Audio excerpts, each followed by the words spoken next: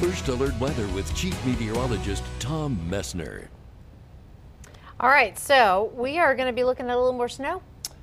Um, some of us are. It's one of these deals where, uh, especially northern New York, but we may see a band that makes it all the way across Vermont. I think there's a decent chance of that, which would be, it would amount to snow squalls here mm -hmm. by the afternoon. So we've got some stuff to watch, and it's going to be helpful to tune in for uh, Caitlin Napoleone tomorrow morning because we're going to have probably a little bit a better handle on exactly when that may or may not happen. I think it is going to happen, and I'll show you why that is in just a minute. Today's almanac, we topped out at 39 degrees. It was unseasonably warm which is a little bit strange to say, I know. 36, the average high, 67, that is the record high. The record low is 6 below zero for this date. All right, we're in the 30s all over the place in the Champlain Valley. We'll call it 35 in Burlington, 39 degrees. Right now, Plattsburgh, even freezing in Massena, along with Lebanon. Right now, Springfield doing a 31. Wanted to key in on the wind speed and maybe in particular the wind direction here. It's a south to southwest wind, and with that, that's going to help keep the temperatures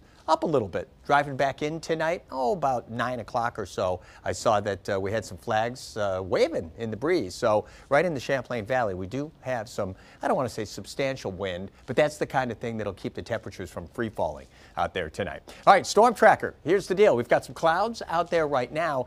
Thought this was interesting. With that south to southwest wind, we have lake effect snow coming off of many of the Great Lakes right now, but note where the lake effect snow is. It's to the north and off to the east. And what will happen is we're going to find that picking up around Lake Ontario, and that's why we're going to find some snow in northern New York and eventually